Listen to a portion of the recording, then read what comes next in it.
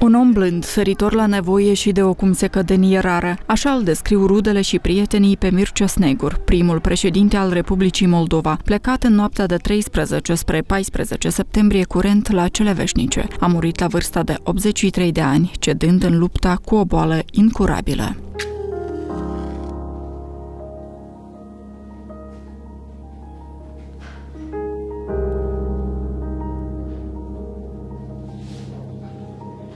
E doliu în Republica Moldova. E tristețe mare și în gimnaziul din satul natal Trifănești, raionul Florești, care din 2021 poartă numele Mircea Snegur. În bibliotecă am întâlnit-o pe Nina Slimovski, verișoara președintelui, care a scos din dulapuri cele mai de preț fotografii. Când gimnaziul a luat numele Mircea Snegur, că atunci era pandemie și ca Dumnezeu când trăie mama dumnealui, el foarte des vine la părinți, la mama, că tatăl a murit mai înainte.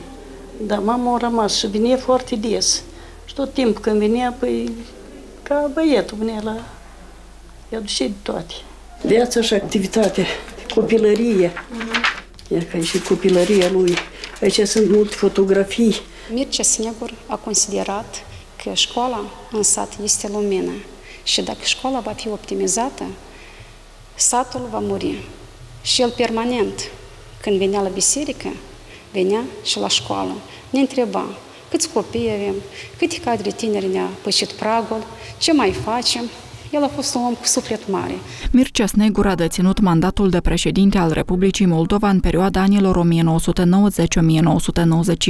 și este unul dintre liderii mișcării de eliberare și renaștere națională. A fost principalul susținător al proiectului de lege care prevede conferirea limbii române a statutului de limbă oficială și revenirea drapelului tricolor. Mircea Snegur a susținut proclamarea suveranității, obținerea independenței Republicii Moldova și a contribuit la recunoașterea tânărului stat de către Occident.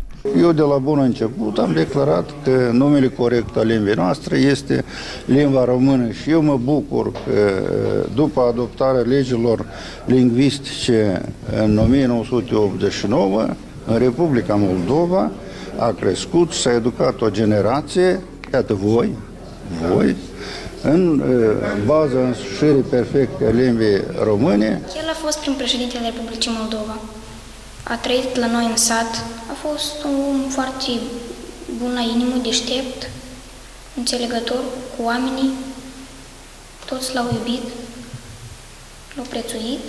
A dorit tuturor elevilor succes, baftă și note bune doar să avem. El a luptat pentru țară, pentru limbă și pentru suveranitatea țării. Cum a ținut la țară, așa și la satul în care s-a născut și a copilărit. S-a implicat în infrastructura satului, au făcut drumurile, au asfaltat drumurile, au făcut uh, biserica în sat uh, ortodoxă creștin.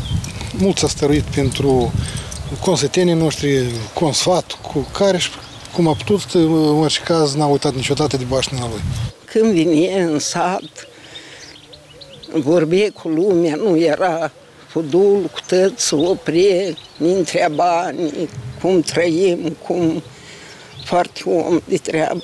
Dumnealui a fost în perioada când a fost războiul cu Transnistria și a calmat spiritele. A fost un om aprins.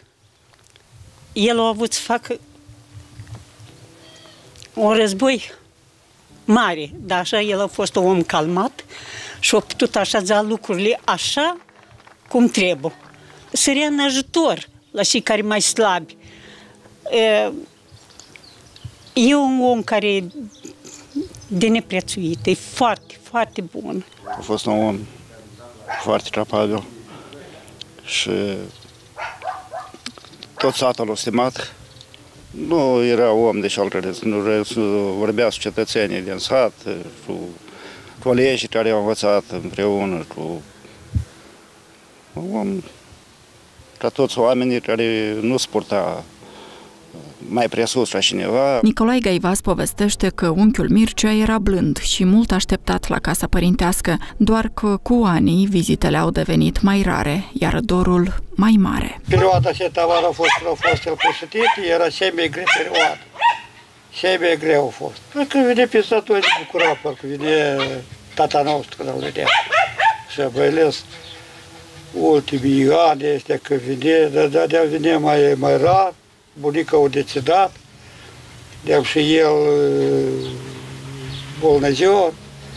Ne întâlneam numai așa la Paștele Blăjirilor, vine. De cu oameni acolo la cimitiră, când venea el, toți grăbădeau, toți prejurul lui, salutau. În satul Trifănești l-am întâlnit și pe Leomid Palamaru sau Leonea, așa cum Mircea Snegur obișnuia să-l numească pe verișorul său. Eu am fost la dânsul. Și el acasă a fost. Scrie o carte. Ia că țin minte acolo în cabinet la dânsul. El a fost un om tare liniștit. Și că vine o leacă plâng, da?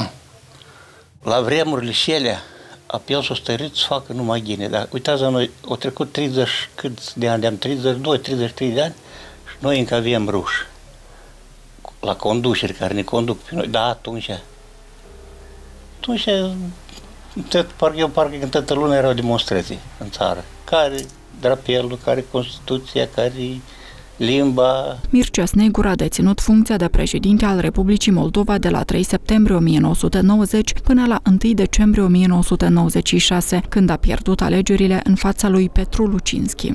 El s-a stăruit ca și Moldova a luat în seamă.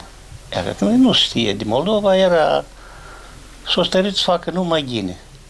Și așa cum am simțit eu atunci când pe vremurile cele, el era cu alipirea cu români, totuși și limba română. A fost doctor în științe agricole, fiind de specialitate agronom savant. În perioada 1978-1981 a activat în funcția de director la Institutul de Cercetări Științifice în domeniul culturilor de câmp selecția din Bălți. Angajații de aici își amintesc cu admirație de colegul lor. A fost un agronom bun, a fost un specialist biolog foarte bun. Avea, o, spunem așa, un nivel de, de pregătire și un nivel de viziune foarte progresiv. Un om anume, nu știu, de, pregătit de Dumnezeu pentru a, a conduce știința, că asta nu e simplu. În afară de cei că am pierdut un om politic de bază, care a contribuit foarte mult la stabilitatea noastră, noi am pierdut și un om un uh, cetățean uh, extraordinar, un lucrător științific, care cunoștea rădăcinile în agricultură, ținea la țăran, uh, ținea la agricultură. Dar lui, practic, a fost acel care a stat la bază formării Asociației Științifici Producere. Practic, putem spunem că piața temelie a fost pus de Mircea Ivanu Șnegur. Ziua de 16 septembrie va fi declarată zi de doliu național și vor fi organizate funeralii cu onoruri de stat.